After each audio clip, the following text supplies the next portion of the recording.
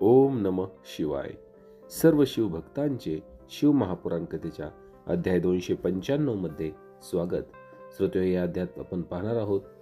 गौतम ऋषींचा प्रभाव. ही जी कथा आहे श्रोते हो, ही त्र्यंबकेश्वर ज्योतिर्लिंगाचीच महात्म्य सांगणारी कथा आहे. अध्यायाला सुरुवात करूया श्री गणेशाय नमः. सूत म्हणाले की ऋषी श्रेष्ठांनो आता मी तुम्हाला त्र्यंबकेश्वर ज्योतिर्लिंगाचे महात्म्य सांगणार आहे. या संदर्भात मी व्यास महर्षींच्या मुखातून जे काही ऐकले आहे तेच तुम्हाला निवेदन करणार आहे. पूर्वी गौतम नावाचे श्रेष्ठ ऋषी होऊन गेले. त्यांची पत्नी अहल्या मोठी धार्मिक होती. त्या ऋषींनी दक्षिणेकडील ब्रह्मगिरीवर निवास करून दहा हजार वर्ष तपश्चर्या केली होती. एकदा त्या प्रांतात शंभर वर्ष पाऊसच पडला नाही. अतिभीषण दुष्काळामुळे लोक अक्षरशः त्रासून गेले. कोठेही पाण्याचा टिपूस दृष्टीस पडत नव्हता. मग हिरवे पान कोठून दिसणार? शेवटी तेथे राहणारे मुनी मनुष्य पशुपक्षी तेथून निघून गेले. त्या भयंकर परिस्थितीत ऋषी आणि ब्राह्मण समाधी योगात तत्पर होऊन कशी बशी कालक्रमणा करू लागले. तेव्हा गौतमांनी सहा महिने विशेष तपानुष्ठान करून वरुणाला प्रसन्न करून घेतले. वरुणाने त्यांना दर्शन दिले आणि वर मागण्यास सांगितले. गौतमांनी त्यांना पाऊस पाडण्याची विनंती केली. तेव्हा ते म्हणाले की ब्रह्मन महादेवांची आज्ञा उल्लंघून मी पाऊस पाडू शकत नाही. तुम्ही चतुर आहात. माझी मर्यादा जाणता म्हणून तुम्ही दुसरे काही मागा ते मी अवश्य देईल.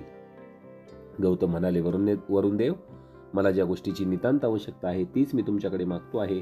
येथे भयंकर दुष्काळ पडला आहे चराचर विश्व व्याकुळ झाले आहे. येथील जीवमात्रांचे कष्ट आणि दुःख दूर व्हावे म्हणून मी तुम्हाला पाऊस पाडण्यास सांगत आहे. जलदान हे जीवनदान आहे अक्षय आणि दिव्य फल देणारे आहे. तुम्ही जलराशीचे स्वामी आहात म्हणून मला पाणीच द्या. वरुण म्हणाला ठीक आहे. तुम्ही एक खड्डा तयार करा. गौतमांनी तात्काळ एक हातभर खोल खड्डा खणला. जलाधी पूर्णाने तो पाण्याने भरून टाकला व म्हणाला की मुनिवर्य हा खड्ड्या अक, या खड्ड्यात अक्षय पाणी राहील. हे पाणी तुमच्यासाठी तीर्थरूप होईल. हे तीर्थ तुमच्या नावाने विख्यात होईल. येथे केलेले दान हवन तप देवपूजन आणि पित्रांचे श्राद्ध अक्षय फलदायी होईल. वरुणाने निज कृपेने पाण्याची व्यवस्था केली. म्हणून गौतमांना फार आनंद झाला. त्यांनी त्याची स्तुती केली त्या स्तुतीने प्रसन्न होऊन वरून आपल्या स्थानी निघून गेला. श्रोते हो अशा प्रकारे श्रेष्ठ आणि उत्तम पुरुषांचा आश्रय घेतल्याने मनुष्याला गौरव प्राप्त होतो पण असे महात्म्य ओळखता आले पाहिजे. त्यांच्या संग सत्संगतीचा लाभ घेता आला पाहिजे. मोठ्यांच्या संगतीने मोठेपणा आणि हलक्यांच्या संगतीने हलकेपणाच प्राप्त होतो. उत्तम पुरुषांना दुसऱ्यांचे दुःख सहन होत नाही. ते स्वतः कष्ट सोसतात आणि दुसऱ्यांच्या दुःखाचे निवारण करण्याचा कसोशीने प्रयत्न करतात.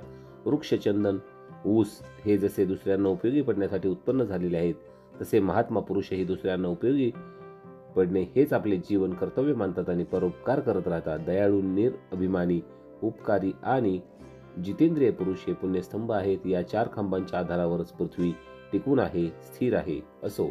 जीवनाला आवश्यक असलेले पाणी उपलब्ध झाल्यानंतर गौतम ऋषी आपली नित्य नैमित्तिक कर्म विधीपूर्वक करू लागले. त्यांनी परिश्रमपूर्वक जव पेरले. इतर धान्यांची बियाणे पेरली फळझाडे व फुलझाडे लावली. सर्वत्र जलसिंचन केले. त्यामुळे तेथील वन परिसर हिरवागार व टवटवीत दिसू लागला.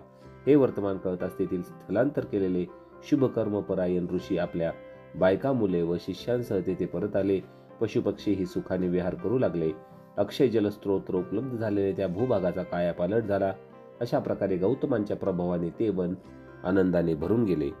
तसं होतं. अशा प्रकारे आपण पाहिले की गौतम ऋषींनी कसे तपश्चर्या करून वरुण देवांना प्रसन्न केलेले आहे. पुढील अध्यायात आपण पाहणार आहोत की गौतमांना गोहत्येचा दोष कसा लागणार आहे आणि त्यानंतर श्रोते त्र्यंबकेश्वर ज्योतिर्लिंगाच्या महात्म्याची एक अजून कथा आपण जाणून घेणार आहोत. त्यानंतर गौतमीची उत्पत्ती असे भरपूर अध्याय आहेत. श्रोते हो बारा ज्योतिर्लिंगांची श्रोते हो या शिवमहापुराण कथेच्या अध्यायामध्ये माहितीचे व्हिडिओ चालू आहेत. सो तो चॅनलवर नवीन असताल तर चॅनलला सबस्क्राईब करा.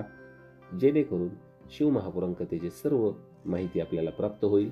तसेच व्हिडिओ आवडला असेल तर कमेंटमध्ये ओम नम शिवाय लिहायला विसरू नका. भेटूया लवकरच पुढील व्हिडिओमध्ये. धन्यवाद. ओम नम शिवाय.